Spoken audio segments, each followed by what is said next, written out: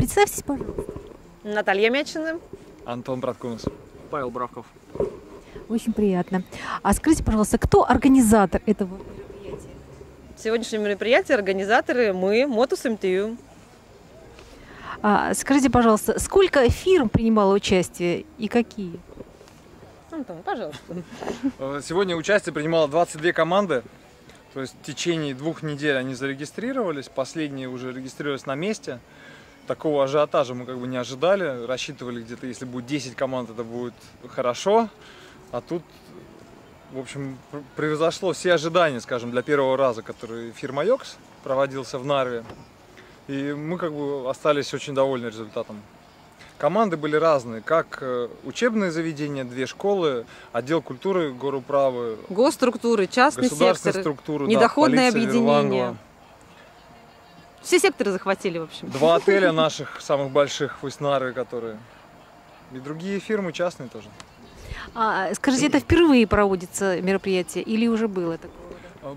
Такой эстафета под названием «Фирма Йокс» как бы проводится впервые, но есть э, похожая, который проводит спортивный клуб «Экке», это забег Юрьевой ночи в Нарва-Есу.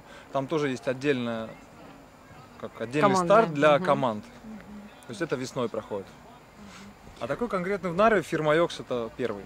А скажите, а с какой целью вообще проводится это мероприятие? С- э, Вообще-то данное мероприятие проводится в рамках э, международного мероприятия большого. Это неделя движения. По всей Европе э, эту неделю организовываются такие спортивные, разные подвижные мероприятия. И вот мы тоже решили проявить инициативу в Нарве и организовать мероприятие по бегу, по эстафетам Нарва фирма Йокс. А, скажите, а вот какие-то существуют правила набора команд? Нет, Никаких критериев, то есть были как мужские команды, женские, смешанные и меньше 16 лет кому возраст, то есть совершенно разная цель, как бы популяризировать движение и такой развить корпоративный спорт, чтобы народ на работе занимался спортом, двигался хотя бы просто, чтобы работодатель к этому относился более Лояльно. лояльно, поэтому время было тоже сделано рабочее, скажем так, в 4 начала регистрации, 5 первый старт. То есть поддерживать корпоративный фирменный спорт, движение, Особо здесь нужно поблагодарить э, фирмы и людей, которые вот и не бегают совсем, а пришли сегодня и пробежали здесь свой километр. Потому что были спортсмены настоящие, которые, как мы видим, взяли первые места. А вот, да, стоит поблагодарить на самом деле и вот э, сказать спасибо огромное тем, кто не бегает, но сегодня пришел и побегал. И команда полиции приближается на финиш. Бежим до конца, до флага старт-финиш.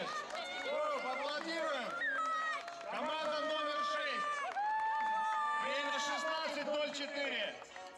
А скажите, вы впервые участвуете в этом мероприятии? Э, Да, в этом мероприятии впервые участвую. Я раньше не слышал, что такие мероприятия проводятся. И вот хотелось бы побла- поблагодарить Антона Праткунаса, программу э, Клуб Мотус, кто это организовал. Так что, ну, как бы, классное мероприятие, первый раз участвую. А скажите, вот какую вы пользу считаете приносят такие мероприятия в вашей фирме и лично вам? Спорт, как бы, это всегда как бы классно, это здоровье, это хорошее настроение.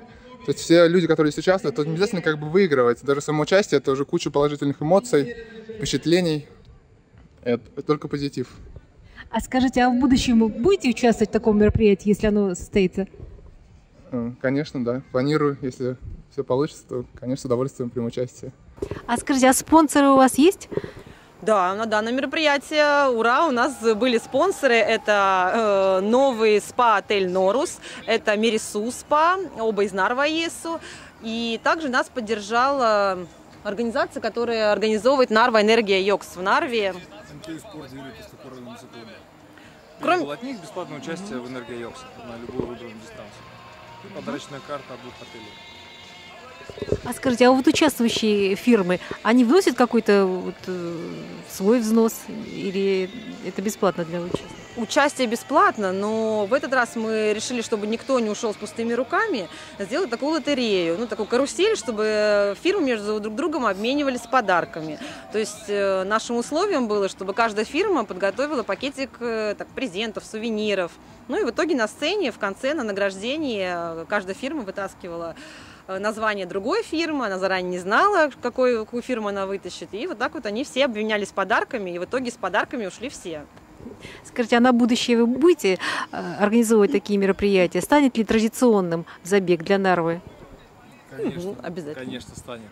Я думаю, также можно это осенью организовывать, поскольку другой забег фирм, который вместе с Юрием Йоксом проводится в Нарвоес весной, этот будет продолжаться осенью, как раз в начале рабочего учебного года.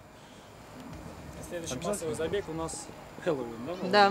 Да. То есть на Хэллоуин там уже будет просто любители, мы будем бегать не на результат, а просто в костюмах весело. Как в прошлом году, это уже будет у нас второй год подряд.